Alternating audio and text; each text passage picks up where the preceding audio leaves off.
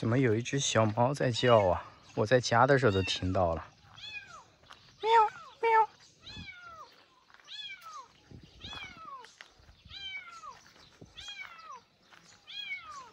喵喵喵喵，好像在这个稻田里面。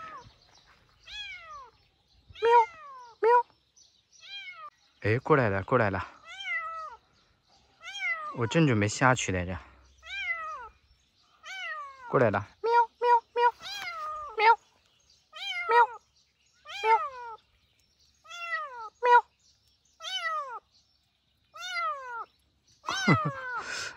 来了，喵喵喵。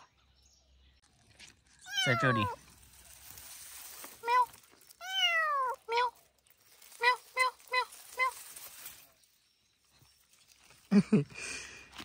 布丁也过来了，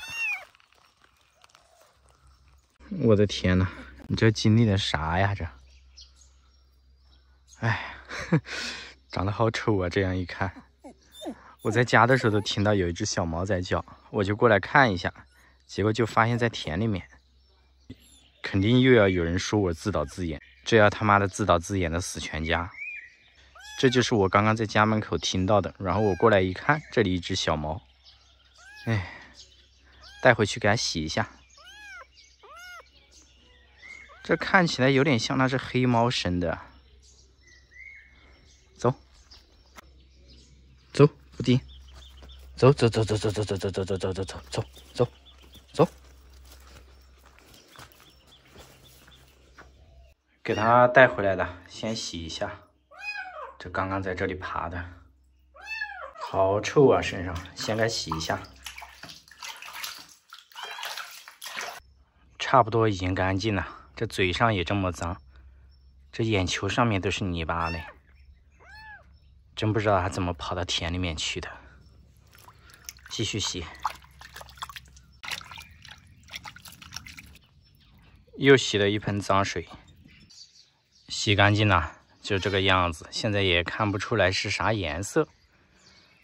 放这里，让它羽毛晒干了再说。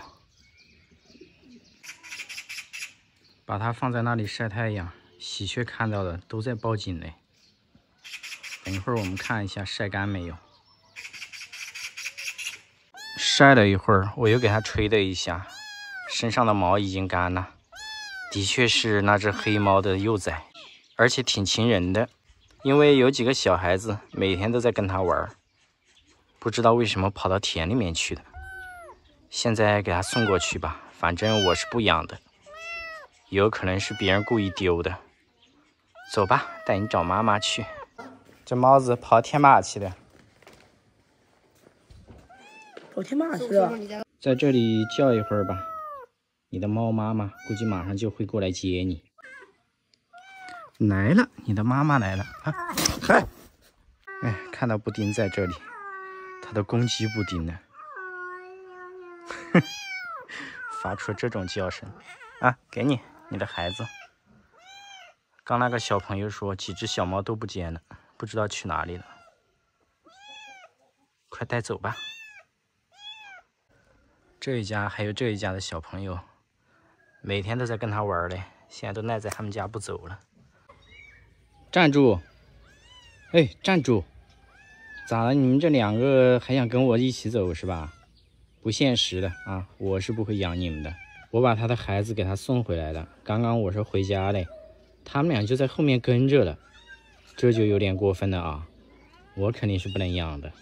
这只黑猫生孩子之后，我就过来看了它一次。